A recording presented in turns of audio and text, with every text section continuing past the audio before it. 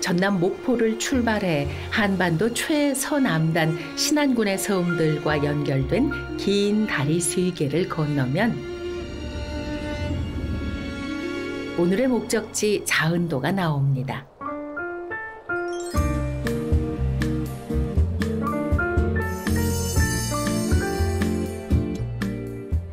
가자. 고요한 섬의 정막을 깨뜨리는 소리. 자은도 해변 중 가장 넓다는 둔장 해수욕장. 사람 없는 평일 오전 해수욕장을 전세 낸 이들은 이른바 자은도 사총사. 한 마리 잡자. 이리 한 마리 잡자. 한 마리 잡자. 아니 뭘 한 마리 잡겠다는 얘기죠? 예? 이게 뭐야? 개. 자, 자연 공부. 바다 자연 공부. 자연 공부해. 자연 공부. 기야 여기 꽃게. 아 이게 뭔데 이렇게 예쁘지? 아 귀여워. 물면 안 돼, 안 돼, 안 돼, 안 돼, 안 돼, 안 돼. 안 돼, 물면. 어, 우리도 알아요. 물진 않을 거예요. 이제 여기 넣어주자. 집에 들어가라고. 사총사의 리더 이승철 씨 오늘 주인공입니다. 가자. 야, 시원하다. 아니 저 집에 가나 했는데 탈의를 하시네. 야외 수업 2교시 바다 수영 시간 사총사 모두 거침없죠? 아니 저 승철 씨 예순 셋 맞나요? 아 몸이 거의 톰 크루즈 저리 가는데. 바다야, 이리 와. 그러지, 그러지, 그 남자는 이렇게 강하게. 강한 남자라 부르기엔 어색한 막둥이 한 살 바다. 그래도 승철 씨 조기 교육 덕에 바닷물도 무서워하지 않는 씩씩이랍니다. 잠깐만, 잠깐만, 이리 와. 잠깐만, 이리 와. 이리 와. 이리 와. 부르거나 말거나 나의 길을 가련다. 배짱 하나는 두둑한 둘째 백만이. 야, 요 두 녀석은 완전 물개네 물개. 아이고. 남은 한 녀석도 수영을 좋아하겠죠? 범인은 수영보다는 공대를 더 좋아하잖아. 덩치는 산만한데 공만 보면 귀여운 강아지가 되는 이 녀석 여섯 살 첫째 봄입니다. 반려견들 취향 하나하나 고려해가며 최선을 다해 놀아주죠. 야, 인적 없는 바다에서 저렇게 뛰어놀 수 있으니 애들은 얼마나 행복할까요? 행복하기는 승철 씨도 마찬가지입니다. 아닌데 더 신나시는데요, 뭐. 야, 넷이서 광고 하나 찍어야 되겠네, 광고, 그죠? 야, 집에 가자.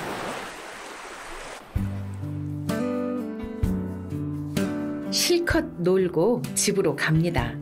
해변에서 걸어서 5분 여기가 보금자리죠. 네. 가자. 이리 와. 바다. 이리 와. 혼자 저 덩그러니 있는 집이라 개들이 막 짖어도 뭐 괜찮겠네요. 네, 오자마자 새 옷에 새 모자를 쓰는 승철 씨. 목장갑까지 챙겨들죠. 무슨 좀 작업을 하시려고 그러는 것 같은데. 어? 봄이가 따라가네요. 네, 철문 바로 앞 여기 볼 일이 있으시대요. 이건 철봉 아니에요? 어, 근데 좀 크네. 오, 아빠 조금 운동할게. 범아. 범아 옆에서 응원해줘. 철봉 운동이면 뭐 턱걸인가? 웬만한 팔 힘으로는 좀 힘들 텐데. 자, 한번 타보자. 하나, 둘. 오, 턱걸이가 아니라 뭐야? 밧줄 오르기. 그것도 두 줄. 와, 팔 힘으로 올라가시네.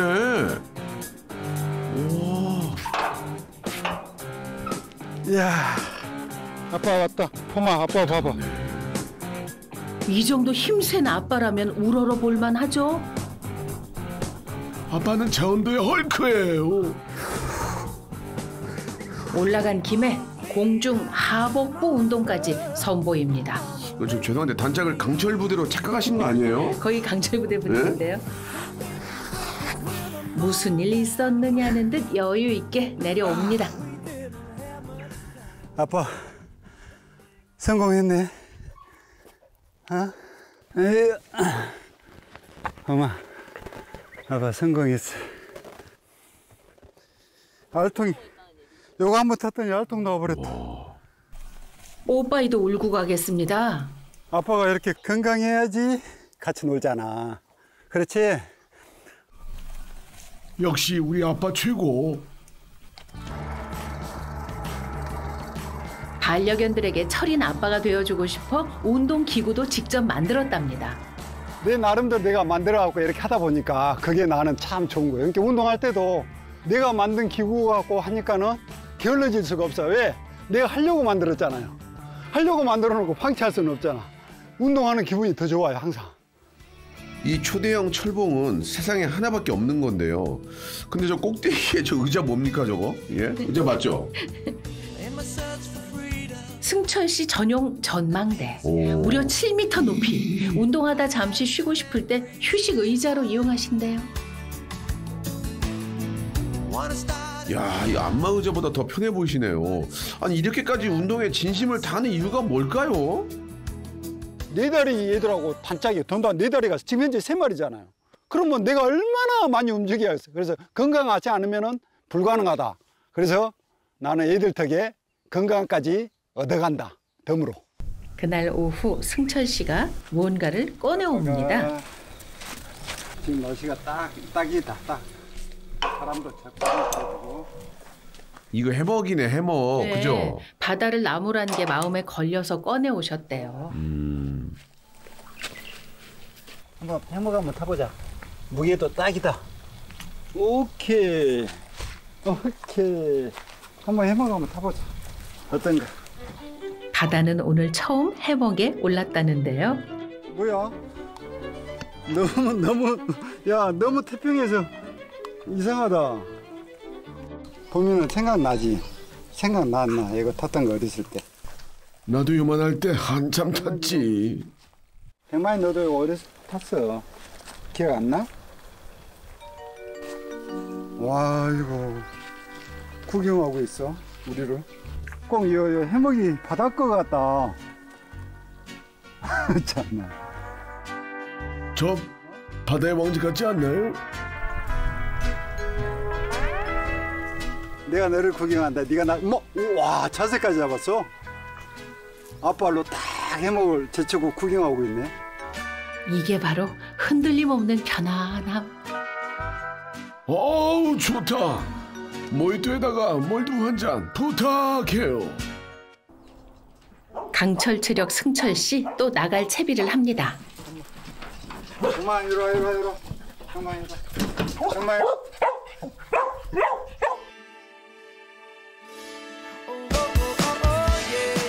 이번엔 산으로 갑니다. 집에서 도보로 10분 거리의 해안 누리길. 탁 트인 바다 전망에 소나무 숲이 우거져서 힐링길이라고도 불린다네요. 아이, 좋다. 우리만의 산책길이다. 아, 사이좋게 잘 간다. 야 산책 매너 좀 배웠나 본데요. 예 아들들 교육 잘 시키셨네. 해안 누리길을 어느 정도 오르다 보면 인적 드문 길이 나온대요. 얘들아, 이제 자유의 시간이, 자유의 시간이 왔어요. 여기는 아무도 없어. 정말 아무도 없어. 그러니까 이제 우리는 자유의 시간을 한번 누려보자. 그 다음에 바다도. 자 즐길 준비 되어 있습니까? Are you ready 역시 애들은 자유로워야 돼. 출발. 달려볼까? 달려볼까? 우리는 달려야 돼. 멋지게 달려보는 거야. 나는 여행한다고 살아요. 현재 여기가 집이 아니야, 나는. 여기가 내가 여행하면서 머무르는 곳이야. 그런 기분으로 살아요. 여행하는 기분. 일상을 여행처럼 이젠 반려견들도 즐긴다네요. 새로운 곳에 가잖아요. 막 정신이 없어요. 그래서 될수 있는 요 장소가 여러 개더라도 번갈아 가면서 가요. 오늘은 이곳, 내일은 저곳, 그리고 며칠 뒤에는 다시 이곳. 그러면 애들이 참 좋아하더라고. 인생을 여행 중인 승철 씨. 그 길을 기꺼이 동행해준 단짝들에게 전하고픈 말이 있답니다. 나는 단지 너희들하고 같이 어울리면서 살아가는 아빠.